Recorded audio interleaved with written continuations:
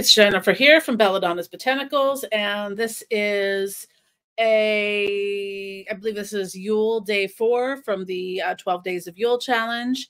And in this one, it's about feast magic. It's about um, what we do in our practices to, uh, you know, create a potion, a recipe, a meal, whatever. So I have not been feeling well for the past couple days, so I'm a little low energy. What I'm going to do today is I'm going to make a nice divination tea so I can have some nice woo, dreams before bed um, or while I'm, you know, in bed, which probably will be sooner than later because I'm a little tired. Anyways, so um, as you realize, know, I have a quite an extensive herbal. You can't see it goes all the way down to the floor. Um, so what I'm going to do is I'm going to intuitively select a nice blend of herbs to make what either sometimes it's called a tisane, but it's really an herbal tea or an herbal infusion. Um, a true tea would have tea leaf in it, whether it's a green tea, oolong, black tea, roy, rooibos. I don't know how to pronounce it. Uh, my dad's the tea aficionado in the family, so um, hopefully I'm doing this right. But I'm going to make an herbal tea. I haven't done that for a while. And what I do when I make tea, um, I just stick to putting herbs. I don't put any natural like flavoring things in it. I could. I mean, I do actually have some flavoring stuff from uh, when I used to make uh, flavored lip balms. So I have some flavor like flavoring stuff for that.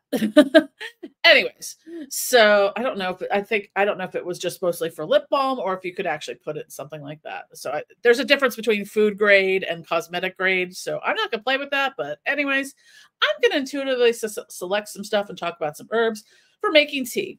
So it is Yule. It's uh, end of December and I don't normally do videos standing, so I'm wiggling around a lot. I'm usually seated. So, anyways, I'm going to start picking out some things to put in there and talk about. Like, really, what I like to do, um, you want to have your herbs that provide the action. Unfortunately, a lot of times those herbs do not taste well. I wish I still had the footage of me after I made a Mexican dream herb tea when I'm like, oh, lovely. Literally, that's what I did. It was so bitter.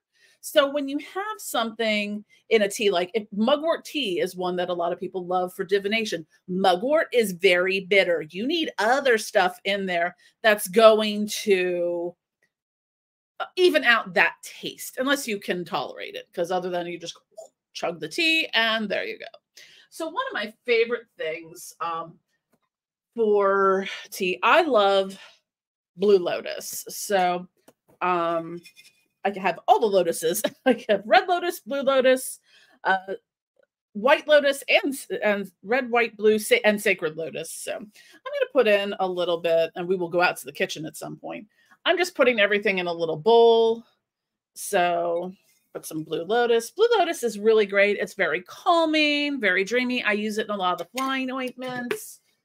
So it's really it, it, taste wise mm, like blue lotus essential oil smells divine the taste from blue lotus is okay it's it's what we would call like a green taste like it doesn't have a whole lot of um something like say my friend which i'm going to put in here which self hibiscus i am a big fan of fruity teas floral teas and fruity floral teas also, we'll we'll offer concessions for spicy teas, like anything that has like some clove and cinnamon and cardamom, all of that. Ironically, though, I do not like pumpkin spice co coffee or anything.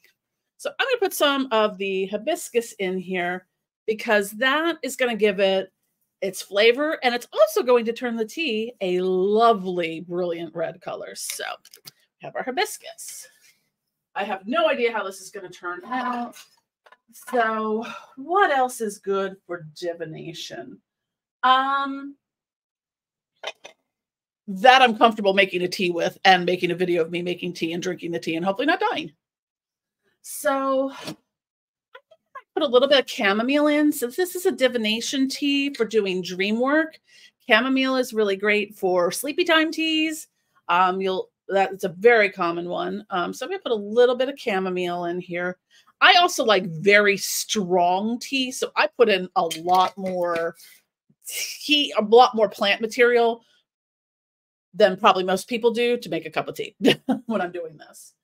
Um, another one that is really good that you wouldn't probably think about it, but calendula has some nice like divinatory, like like conscious expand the expanding entheogenic uh, properties. So calendula. Um, what else? I put a tiny little bit of mugwort in here. Um, this is I get a couple different kinds of mugwort. So most mugwort, one word, similar. So most mugwort you get looks like this. It's a, it's already cut and sifted.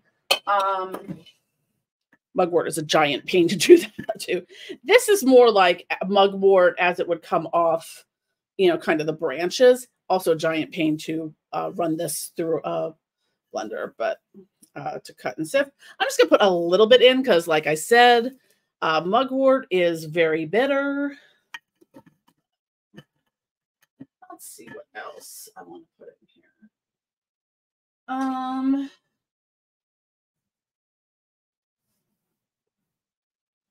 I feel like we need something more for flavor. So what I'm going to do now is go into the spice section because as I mentioned there before, Vetiver, you're not a spice. You're on the wrong shelf.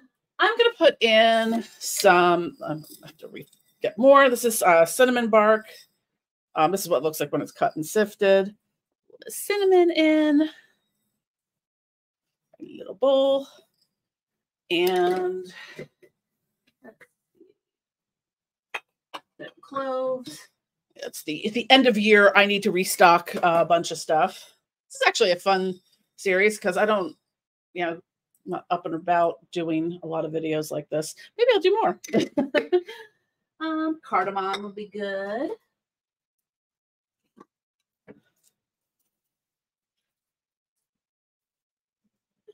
Some cardamom pods. What else do I have down here? Uh, not feeling anise or uh ooh, I know what I want to put. We want some citrus in here too. I do like citrus teas as well. I don't feel like this one is like peppermint is a as a common like tea base. I don't feel like peppermint's gonna go well with this, but what I have, um, this is uh dried lemon peel. Some dried lemon peel in here. I'm actually gonna put a little more lemon peel in here. I'm also gonna put in a little bit of orange peel big jar of orange peel. I actually use a lot of these, so some orange peel in here. Right.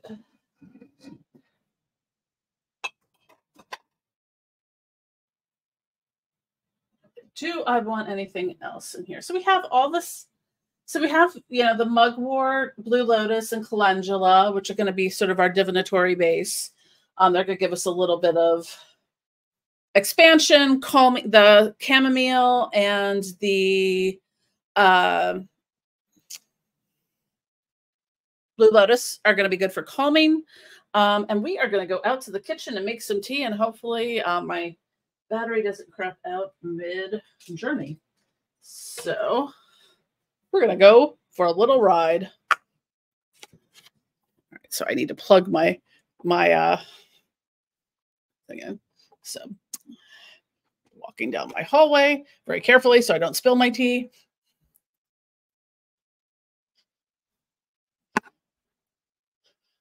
Wow, I didn't trip over anything. Amazing. So we're going to welcome okay. to my kitchen. Here we are. Welcome to my kitchen. It's slightly a mess, um, solely just because if you see any pots on the stove, I've got a thing of bubble bath some leftover from the double boiler for making soap, and I'm going to be making some Florida water. And I have some soap over there. So um, this is my favorite kind of teapot. I know it's not the most fancy teapot in the world, but it is for making this kind of like a loose tea. It's really nice. It's got the little strainer thing. I'm going to I don't know how to do this and show you because hands are a thing. so I'm going to put all my good stuff in here. Hopefully it turns red from the, it should, from the. So I, when I make tea, this will make about, for me, maybe about a cup or two of, of like that size. I don't have fancy teacups. Should have teacups, but do not. So I have all my tea in the little cylinder and I, I'm gonna put some water in here. Did not, oh. do this. All right, I'm gonna get water from the fridge, put it in here because I have the water purification thing in there. This just might take a hot minute.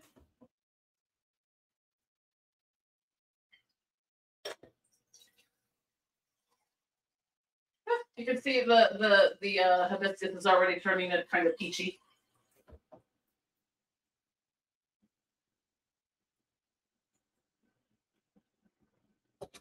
I'm also someone who loves a lot of honey and sugar in their tea. Uh, basically, I end up make. I think I make just warm juice by the end of the by the end of the uh, journey.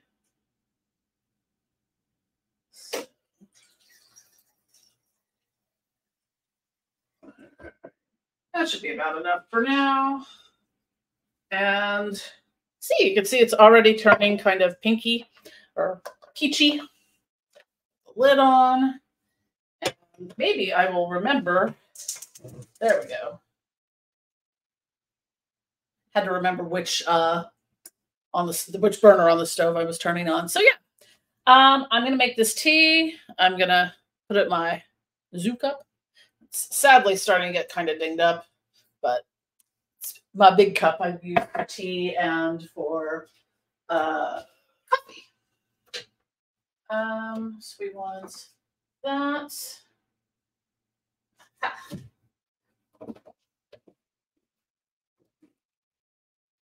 And granulated.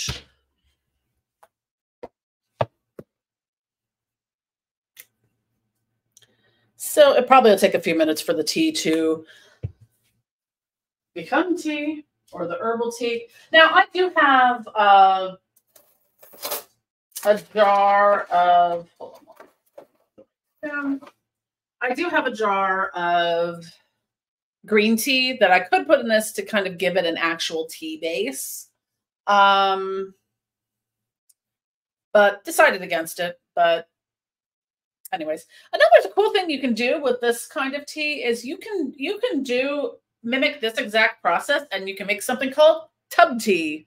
So what you would do is you can make the you can boil the tea in the pot and pour it in the tub, or you could take like a muslin cloth bag or even like an organza bag and you put all the herbs in it and run it under the hot water and then you get that herbal kind of bath. So and you'll sometimes see, like in Botanicas, they have those herbal baths where kind of looks like a bag of potpourri, but you boil it on the stove and then you put that in the water. Um, that and you take your spirit your bath that way. Um, see them at bodegas too on occasion, depending on the bodega. But anyway, so my tea is slowly. It's also hot. You can see it's getting more and more red from the hibiscus. I hope this tastes good. If I make a yucky face, apologies.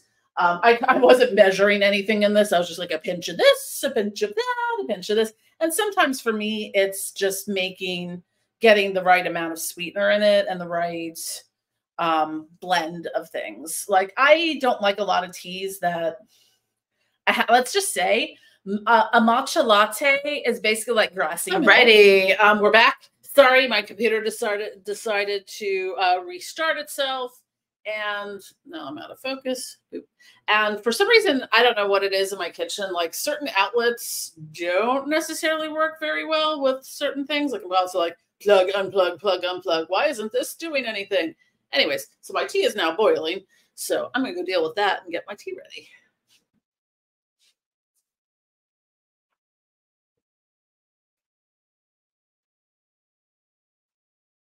And since I make my tea in a glass teapot, look how beautifully red that is. That's like the perfect crimson color.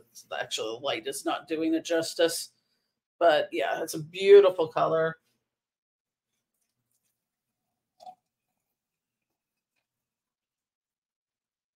That was about enough for a very big cup of tea and maybe like topping it off once. Let's see. It's going to be very hot. First thing, let's see how it smells. Mm, you could definitely smell the hibiscus and a little bit.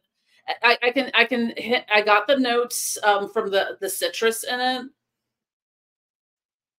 Starting to get a little bit of the uh, spicy notes from the clove and the cinnamon and the cardamom. That will give it a really nice body.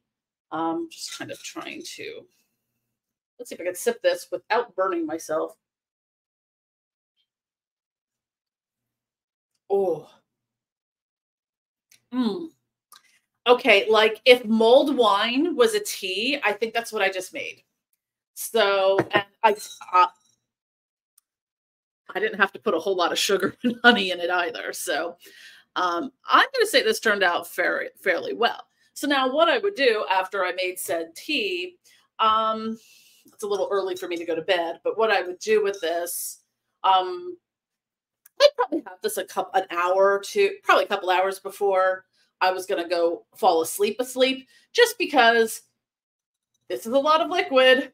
Your bladder is small. so, um, I would probably, if I was going to do some really intense dream work, astral travel, um, any of that, um, or even just deep meditation or spirit channeling and communication, or you know, doing tarot readings or any kind of divinatory work like that, um, I might take a bath too. And what you can do in the bath is some preliminary work. Have your cup of tea, you can drink tea in the bathtub. I do it. I've eaten entire meals in the bathtub, but that's just me and I'm weird. Um, so yeah, this is my tea. You could take a lovely ritual bath before you do your dream work or astral travel, whatever you want to do for the for Yule um, or any time of year. This is I, I would drink this this tea any time of year, so it is quite tasty and not for nothing. I'm impressed because flying by the seat of my pants here. I don't make a lot of, I'm not a tea maker, but I mean, I could be. um, anyways.